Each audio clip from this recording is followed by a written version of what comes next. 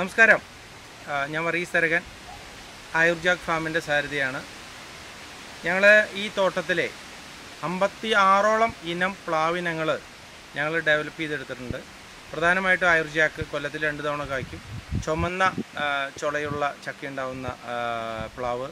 അതേപോലെ വെള്ള നിറമുള്ള ഇലയുള്ള പ്ലാവ്. ലോകത്ത് ആദ്യമായിട്ടാണ് വെള്ള നിറം പ്ലാവിലേക്ക് ഉള്ള പ്ലാവ് തൈ പ്ലാവ് കണ്ടെത്തുന്നത് ഈ സ്ഥലത്ത്. കുറുമാൽക്കുന്നിലാണ്. അതേപോലെ തന്നെ ഞങ്ങൾ ഇതിന്റെ ഭാഗമായിട്ട് മറ്റെല്ലാ ഫലവൃക്ഷങ്ങളുടെ തൈകളും ഇവിടെ ഉൽപ്പാദിപ്പിക്കുന്നുണ്ട്. തെങ്ങനങ്ങളുണ്ട്. കുറ്റിയാടി കുള്ളന്തെങ്ങ് എല്ലാ ഫലവൃക്ഷങ്ങളും കൂട്ടത്തിൽ ഇവിടെ ഉൽപ്പാദിപ്പിക്കുന്നു. അതുകൂടാതെ ഇവിടെ വരുന്നവർക്ക് ഞങ്ങൾക്ക് വേറെ ഒരു സ്ഥലത്തും ഔട്ട്ലെറ്റോ ബ്രാഞ്ചസോ ഒന്നുമില്ല. ഇവിടെ വരുന്നവർക്ക് മാത്രമേ ഇതിന്റെ തൈകൾ ഉൽപ്പാദിപ്പിച്ച് കൊടുക്കുള്ളൂ. തൈകളിൽ ഉൽപ്പാദനത്തിന് പുറമെ ഇവിടെ ജലസംരക്ഷണത്തിനാണ് ഏറ്റവും വലിയ പ്രാധാന്യം.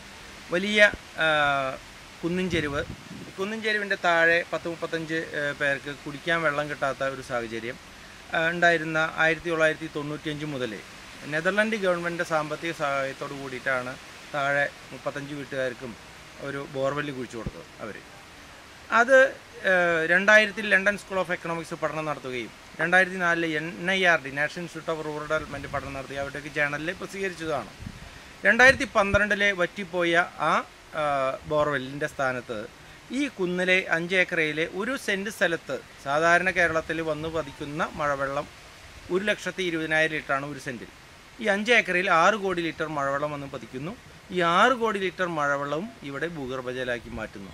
പ്രതിവർഷവും അങ്ങനെ ചെയ്യുമ്പോൾ രണ്ടായിരത്തി പന്ത്രണ്ടിൽ നേരത്തെ പറഞ്ഞ നെതർലൻഡ് ഗവൺമെന്റ് കുഴിച്ചു കൊടുത്ത ബോർവെൽ വറ്റിപ്പോയപ്പോൾ പന്ത്രണ്ട് മുതലാണ് ഈ തട്ട് തിരിച്ച് കൃഷി ഇവിടെ ആരംഭിച്ചത്. അതിനുശേഷം ഇവിടെ താഴെയുള്ള മുപ്പത്തഞ്ച് വീട്ടുകാർക്കും വെള്ളമില്ലാത്ത അവസ്ഥയിൽ നിന്ന് ഞങ്ങളുടെ ജലസംരക്ഷണ രീതി കൊണ്ട് എല്ലാ ആളുകൾക്കും ഇവിടെ വെള്ളം കുടിവെള്ളം കിട്ടി. ഒരു അമ്പതോളം കിലോ അമ്പതോളം ഏക്കർ കൃഷി സ്ഥലത്തുള്ള ആളുകളുടെ കിണറുകളിൽ കൃഷിക്ക് ആവശ്യമുള്ള വെള്ളം ഇല്ലാതിരുന്ന സമയത്ത് അവർക്കും കൂടി അതിന്റെ ഉപയോഗം കിട്ടി എന്നുള്ളതാണ് ഇവിടെ അടിവരയിട്ട് ഞങ്ങൾക്ക് പറയാനുള്ളത്. അപ്പോൾ കുടിവെള്ളം ഉണ്ടാവുക എന്ന് പറഞ്ഞാൽ അത് വർഷക്കാലത്ത് മഴ പെയ്യുന്ന വെള്ളം മുഴുവൻ ശേഖരിച്ചാൽ മാത്രമേ നമുക്ക് കുടിക്കാൻ വെള്ളം കിട്ടുള്ളൂ. നമ്മൾ ഈ ബാങ്കിലൊക്കെ എസ് ബി അക്കൗണ്ടിൽ പണമില്ലാതെ എ ടി എം വഴി പണം കിട്ടും എന്ന് പ്രതീക്ഷിക്കരുത്. അതേപോലെ തന്നെയാണ് മഴ പെയ്യുന്ന വെള്ളത്തെ നമ്മൾ ശേഖരിച്ച് വേനൽക്കാലത്ത് ആ വെള്ളം കിണറായി കുഴിച്ച് അല്ലെങ്കിൽ ബോർവെൽ കുഴിച്ച് പല രൂപത്തിൽ നമുക്ക് തിരിച്ചെടുക്കണ ഒരു സംവിധാനം. അത് നമ്മൾ തന്നെ തീരുമാനിക്കണം. അപ്പോൾ അത് ജലസംരക്ഷണത്തിലൂടെ മാത്രമേ ജലലഭ്യത ഉണ്ടാകുള്ളൂ എന്നുള്ള അടിവരട്ട ചോദ്യം. രണ്ടാമതൊരു കാര്യം ഇവിടെ ഉരുൾപൊട്ടലില്ല. അപ്പോൾ ഈ വർഷം രണ്ടായിരത്തി ഇരുപത്തിരണ്ടിലും കേരളത്തിൽ പല സ്ഥലത്തും ഉരുൾപൊട്ടും. ഒരു സംശയമില്ല അത് കഴിഞ്ഞ കാലങ്ങളുടെ ഒരു സർവേ അല്ലെങ്കിൽ കഴിഞ്ഞ കാലങ്ങളിലെ ഒരു പഠനം തന്നെ അങ്ങനെയാണ് അല്ലെങ്കിൽ നമുക്ക് മനസ്സിലാക്കാൻ സാധിക്കുന്നത്. രണ്ടായിരത്തി പതിനെട്ടിലെ കേരളത്തിലെ നാൽപ്പത്തിരണ്ട് ശതമാനം മഴ കൂടുതലുണ്ടായി. അതിലാണ് പ്രളയവും ഉരുൾപൊട്ടലുമായി നാനൂറ്റി എൺപത്തി മൂന്ന് പേര് മരിച്ചത്. അതിൽ മുന്നൂറ്റി എഴുപത്തി മൂന്ന് പേര് മരിച്ചു ഉരുൾപൊട്ടിയിട്ടാണ്. രണ്ടായിരത്തി പത്തൊമ്പതിലെ ഇരുപത്തൊന്ന് ശതമാനത്തിലധികം മഴ പെയ്തു നൂറ്റി അറുപത്തഞ്ച് പേര് മരണപ്പെട്ടു. രണ്ടായിരത്തി ഇരുപതിലെ അറുപത്തഞ്ച് പേര് മരണപ്പെട്ടു ഭൂരിഭാഗം പേരും ഉരുൾപൊട്ടൽ മരണ മരിച്ചത്. അതിലെ നമുക്ക് പതിനഞ്ച് ശതമാനത്തിലധികം മഴ പെയ്തു.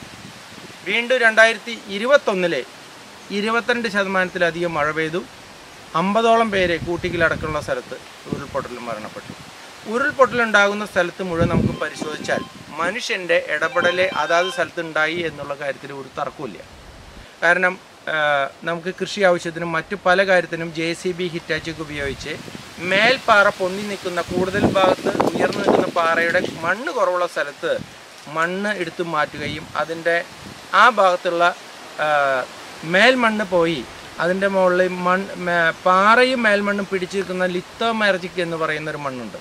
ആ മണ്ണ് വെയിലൊതിക്കുമ്പോൾ ആ മണ്ണ് കൂടുതൽ വിള്ളുകയും അതിലെ അടുത്ത മഴ വന്ന് പതിക്കുമ്പോൾ ആ ലിത്തോമാർജിക് എന്ന് പറയുന്ന മേൽപ്പാറയും സാധാരണ മണ്ണും പിടിച്ചു നിൽക്കുന്ന നിർത്തേണ്ടതായിട്ടുള്ള ഈ ലിത്തോമാർജിക് മണ്ണ് ഒഴുകി പോവുകയും അവിടുന്ന് ആ മോളിൽ മുകളിൽ മേൽപ്പാറയ്ക്ക് മുകളിലുള്ള ആ മണ്ണ് തട്ടി ഉരുൾപൊട്ടലായിട്ട് മാറുകയാണ് ചെയ്യാറ്. അപ്പോൾ അങ്ങനെയാണ് ഒരു തരത്തിൽ ഉരുൾപൊട്ടൽ നടക്കുന്നത്.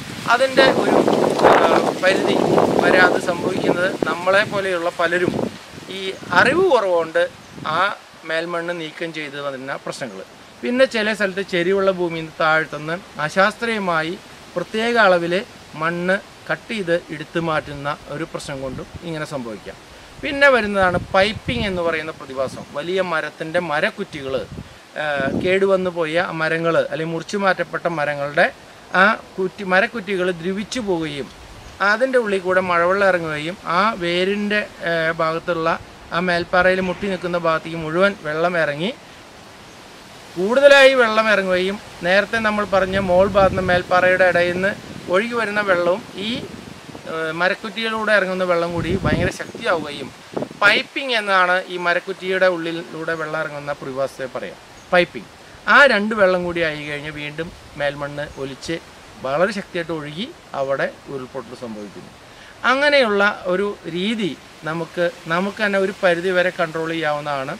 അപ്പോൾ അതിനുള്ള ഒരു പഠനം അല്ലെങ്കിൽ അതിനുള്ള അതിന്റെ ആ ഉരുൾപൊട്ടാനുള്ള സാധ്യതകൾ നമുക്ക് ഒഴിവാക്കാൻ മാക്സിമം പരിശ്രമിക്കണം. അതിനുള്ള അറിവുകളാണ് നമ്മൾ ഷെയർ ചെയ്യേണ്ടത്. അത് ഈ കുർമാൽ കുന്നിൽ ആയുർജാക്ക് ഫാമിൽ വന്ന എങ്ങനെയാണ് ഇവിടെ ഞങ്ങൾ തട്ട് തിരിച്ച് കൃഷി ചെയ്യുന്നത്? മഴവെള്ളം മുഴുവൻ എങ്ങനെ ശേഖരിക്കുന്നു? ഇരുപത്തിരണ്ട് ഡിഗ്രിയേക്കാൾ ചെരിവുള്ള ഭൂമിയിൽ നമ്മൾ കൃഷി ചെയ്യാൻ പോകരുത്. അങ്ങനെയുള്ള സ്ഥലത്തൊക്കെ കുരുപാവി മുളപ്പിക്കണ എന്തെങ്കിലും കൃഷി രീതി മാത്രമേ ചെയ്യാവൂ.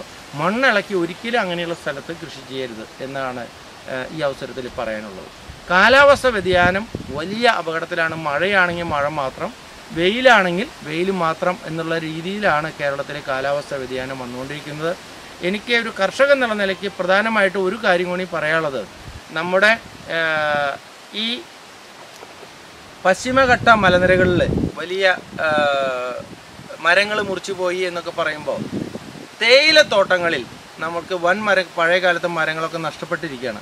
ഇരുപത് ശതമാനം മരങ്ങൾ വെച്ചുപിടിപ്പിക്കാൻ തേയിലത്തോട്ടക്കാരെ സർക്കാരിന്റെ ഭാഗത്തുനിന്ന് ഒരു പ്രത്യേക നിയമം പാസ്സാക്കി നമ്മൾ ആ തേയിലത്തോട്ടങ്ങളിൽ ഒരു ഏക്കറിയുള്ള സ്ഥലത്ത് അല്ലെങ്കിൽ ഇരുപത് സെന്റ് എന്ന് പറയുമ്പോൾ ഇരുപത് ശതമാനം മരങ്ങൾ വെച്ചുപിടിപ്പിക്കാനുള്ള ഒരു പ്രത്യേക നിയമം കേന്ദ്ര ഗവൺമെന്റും കേരള ഗവൺമെന്റും അത് പാസ്സാക്കി എടുക്കണം എന്ന് ഒരു സജഷൻ ഈ അവസരത്തിൽ എനിക്ക് പറയാനുണ്ട്. കാരണം പശ്ചിമഘട്ട മലനിരകളിലാണ് ഏറ്റവും കൂടുതൽ തേയിലത്തോട്ടങ്ങൾ.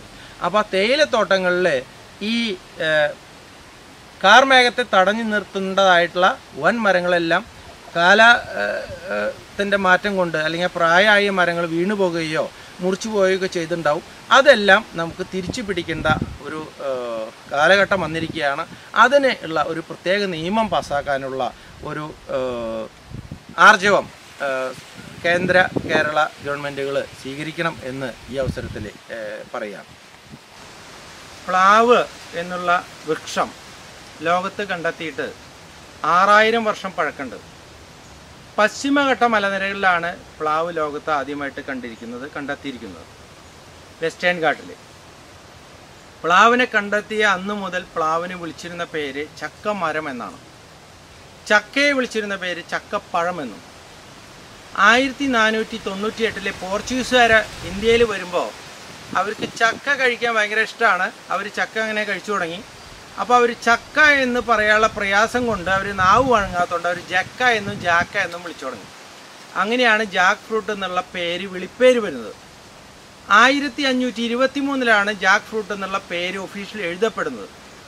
ആയിരത്തി അറുന്നൂറ്റി എഴുപത്തെട്ടിൽ ഹെൻറിക് വാൻഡ്രൈഡ് എന്ന് പറയുന്ന പോർച്ചുഗീസ് എഴുത്തുകാരനും അന്നത്തെ കൊച്ചിയിലെ ഗവർണറുമായിരുന്ന ഇദ്ദേഹം ഓർത്തുസ് മലബാറിക്കസ് എന്ന് പറയുന്ന പുസ്തകം രചിക്കുകയും ആ പുസ്തകം രചിക്കാൻ ആലപ്പുഴയിലെ കൊട്ടാരം വൈദ്യനായ ഇട്ടി അച്യുതൻ അവറുകളുടെ സഹായവും കൊച്ചിയിലെ കൊങ്ങിണി മതശ്രേഷ്ഠരുടെ സഹായവും മലബാറിലെ മറ്റു ചെറുവൈദ്യന്മാരുടെ സഹായവും അദ്ദേഹം സ്വീകരിച്ചിട്ടുണ്ട്. എഴുന്നൂറ്റി നാൽപ്പത്തിരണ്ട് സ്പീഷീസിനെ കുറിച്ചാണ് ഹോർത്തുസ് മലബാറിക്കസിൽ പ്രതിപാദിച്ചിരിക്കുന്നത് അതിലെ മൂന്നാമത്തെ വോളിയത്തിൽ പതിനേഴ് മുതൽ ഇരുപത്തിയൊന്ന് വരെ പേജുകളിലാണ് ചക്കയെക്കുറിച്ച് പ്ലാവിനെക്കുറിച്ച് ഒരു ചക്കക്കുരു കുഴിച്ചിട്ട് കഴിഞ്ഞാൽ ആറു വർഷം കൊണ്ട് അതിൽ ചക്ക ഉണ്ടാവും. അത് തീരദേശ മേഖലകളിലാണെങ്കിൽ വണ്ണം കുറഞ്ഞ് ഉയരത്തിൽ കായ് പോയി ചക്ക കുറയുമെന്നും. അത് ലാട്രൈറ്റുള്ള ചുമന്ന ചെങ്കല്ല് കലർന്ന മണ്ണിലാണെങ്കിൽ അത് ഉയരം കുറഞ്ഞ് തടി കൂടി ഇഷ്ടം പോലെ കായ് ഉണ്ടാവും എന്നുള്ള കാര്യത്തെക്കുറിച്ചും. അന്ന് കാലത്ത് രണ്ട് തരം പ്ലാവുകളാണ് പ്രധാനമായിട്ടും തരംതിരിച്ചിരിക്കുന്നത് തരം തിരിച്ചിരിക്കുന്നത് ഒന്ന് വരിക്കപ്ലാവ് മറ്റൊന്ന് കൂഴപ്ലാവ് അല്ലെങ്കിൽ പഴപ്ലാവ്. ഈ ആ രണ്ടിനം പ്ലാവുകളിൽ വ്യത്യസ്തമായിട്ടുള്ള വരിക്കയും കൂഴപ്ലാവും കൂടി മുപ്പതോളം ഇനം പ്ലാവുകൾ കണ്ടെത്തിയിട്ടുണ്ട്. ആ പ്ലാവിലെ ഇലകളുടെ ഇപ്പോൾ പ്ലാവിന്റെ ഇലയുടെ ഈ പുറമെയുള്ള സിരകളെക്കുറിച്ച് വരെ ഈ ഹോർത്തുസ് മലബാറിക്കസ് ഏഹ്, പുസ്തകത്തിൽ പ്രതിപാദിച്ചിട്ടുണ്ട്. അന്ന് കാലത്തെ ഏറ്റവും വലിയ അസുഖമായിരുന്നു അതിസാരം. അതിസാരം വന്നാൽ പ്ലാവും ചക്കയുമായി ബന്ധപ്പെട്ട മരുന്നാണ് രോഗം വന്ന ആളുകൾക്ക് കൊടുത്തിരുന്നത്. ഇന്നത്തെ കോവിഡിനേക്കാൾ ഭയാനകമായ അതിസാരത്തെ പോലും ചെറുക്കാൻ പ്ലാവിന് ശേഷിയുണ്ട് എന്നാണ് ഓർത്തുസ് മലബാറിക്കസിലെ പ്രതിപാദിച്ചിരിക്കുന്നത്. അതേപോലെ തന്നെ ഈ പ്ലാവിന്റെ ടോൺസിലൈറ്റിസ് വരുന്ന ആളുകൾക്ക് പ്ലാവിന്റെ വേര് ഒക്കെ മുറിച്ച് അതിൽ നിന്ന് മണമില്ലാത്ത ദ്രാവകം വരും. ഈ ഔഷധങ്ങൾ പ്ലാവിൽ നിന്ന് ഉണ്ടാക്കി കഴിക്കുമ്പോൾ പല അസുഖങ്ങളും മാറും എന്നുള്ള കാര്യങ്ങളും അതിൽ കൃത്യമായിട്ട് പറഞ്ഞിട്ടുണ്ട്. മുന്നൂറ്റി ഇരുപത്തൊമ്പത് കൊല്ലം മുമ്പ് രചിച്ച പുസ്തകമാണ് ഹോർത്തൂസ് മലബാറിക്കസ് ആയിരത്തി അറുന്നൂറ്റി തൊണ്ണൂറ്റി ഒന്നിലാണ് ഈ പുസ്തകം രചിച്ച ഹെൻഡ്രിക് വാൻഡ്രീഡ് മരണപ്പെടുന്നത്. പക്ഷേ പുസ്തകം പ്രകാശനം ചെയ്യപ്പെടുന്നത് ആയിരത്തി അറുന്നൂറ്റി തൊണ്ണൂറ്റി മൂന്നിലാണ് അപ്പോൾ ഒരു ഓതർ മരിച്ചതിന് ശേഷമാണ് ഒരു പുസ്തകം പ്രകാശനം ചെയ്തത് എന്നുള്ളത് ഫോർത്തസ് മലബാറിക്സിന്റെ പ്രധാനപ്പെട്ട ഒരു സവിശേഷതയാണ്. അതിന്റെ മലയാള പരിഭാഷയിലെ മൂന്നാമത്തെ വോളിയത്തിൽ മുപ്പത്തി അഞ്ച് മുതൽ മുപ്പത്തി ഒമ്പത് വരെ പേജുകളിൽ കൃത്യമായിട്ട് പ്ലാവിനെക്കുറിച്ച് ചക്കയെക്കുറിച്ച് ഇതിന്റെ ഗുണങ്ങളെക്കുറിച്ച് ഔഷധ ഗുണങ്ങളെക്കുറിച്ച് മുഴുവൻ പറഞ്ഞിട്ടുണ്ട്. ഒരു ചക്കയിൽ ഇരുപത്തഞ്ചോളം മെഡിസിൻ കണ്ടന്റുണ്ട് ഉണ്ട്. അപ്പം ഞങ്ങളുടെ പ്ലാവിന്റെ ചുവട്ടിലൊക്കെ നോക്കിക്കഴിഞ്ഞാൽ എല്ലാ പ്ലാവിന്റെ ചുവട്ടിലും ഒരു മഞ്ഞളിന്റെ കട കാണാം. ഈ മഞ്ഞളിന്റെ കടയ്ക്ക് മഞ്ഞളിന് പ്രത്യേകത മഞ്ഞളിലുള്ള കുർക്കുമിൻ കണ്ടന്റ് ഒരു ആന്റി ക്യാൻസർ ഓക്സിഡന്റ് ആണ്. അപ്പോൾ ആ കുർക്കുമിൻ എന്നുള്ള ആ ഔഷധത്തെ ചക്കയിലെ ഇരുപത്താറാമത്തെ ഔഷധമായി ഉണ്ടാക്കാനുള്ള ഒരു റിസർച്ചിന്റെ ഭാഗമാണ് ഈ കുറുമാൽ കുന്നിലെ ആയുർജാക്ക് ഫാമിൽ നടന്നുകൊണ്ടിരിക്കുന്നത്. ഒരു നാലോളം വർഷമായി ഈ ഒരു പ്രവൃത്തി ഇവിടെ നടന്നുകൊണ്ടിരിക്കുന്നു. അപ്പോൾ അങ്ങനെയുള്ള വ്യത്യസ്തങ്ങളും വിഭിന്നങ്ങളുമായിട്ടുള്ള ചക്കയെക്കുറിച്ചും പ്ലാവിനെക്കുറിച്ചും ഉള്ള റിസർച്ചും കാര്യങ്ങളൊക്കെ ഇവിടെ നടന്നു കൊണ്ടിരിക്കുകയാണ്. ഇവിടെ വരുന്ന ആളുകൾക്ക് ഈ തോട്ടം സന്ദർശിച്ച് ഇത് മുഴുവൻ കാണാം. വരുന്നവർക്ക് ഇതിനെക്കുറിച്ചുള്ള സംശയങ്ങൾ ഞങ്ങളോട് ചോദിക്കാം. ഞങ്ങൾക്ക് അറിവുള്ള സംശയങ്ങൾ നിങ്ങളുടെ സംശയങ്ങൾ ദൂരീകരിച്ച് തരാൻ അറിവുള്ളത് ഞങ്ങൾ പറഞ്ഞു തരാം. എന്ന് മാത്രം ഈ അവസരത്തിൽ പറയാണ്. കുറേയും കൂടി കൂടുതൽ കാര്യങ്ങൾ ഇവിടെ വന്നാൽ നേരിട്ട് നിങ്ങൾക്ക് ബോധ്യപ്പെടാം. കൂട്ടത്തിൽ ഒരു പ്ലാവ് പുറത്തേക്ക് വിടുന്ന ഓക്സിജന്റെ അളവ് പതിമൂന്ന് പോയിന്റ് ഒന്ന് ആറ് ടണ്ണ. ഒരു ഒരു വർഷം ഒരു പ്ലാവ് പുറത്തേക്ക് വിടുക. ഒരു മനുഷ്യന് ശ്വസിക്കാൻ വേണ്ട ഓക്സിജന്റെ അളവ് അഞ്ഞൂറ്റി അമ്പത് ലിറ്ററാണ് ഇന്ന് കേരള മാർക്കറ്റിൽ ഓക്സിജൻ വിലയ്ക്ക് വാങ്ങാൻ കിട്ടും. വിലയ്ക്ക് വാങ്ങുന്ന ഓക്സിജന്റെ ഒരു ലിറ്ററിന്റെ വില നൂറ്റി എട്ട് രൂപ മുപ്പത്തിമൂന്ന് പൈസയാണ് ആറ് ലിറ്ററിന്റെ അലുമിനിയം ഫോയിലിൽ വരുന്ന ഓക്സിജൻ അറുന്നൂറ്റമ്പത് രൂപയാണ് വില.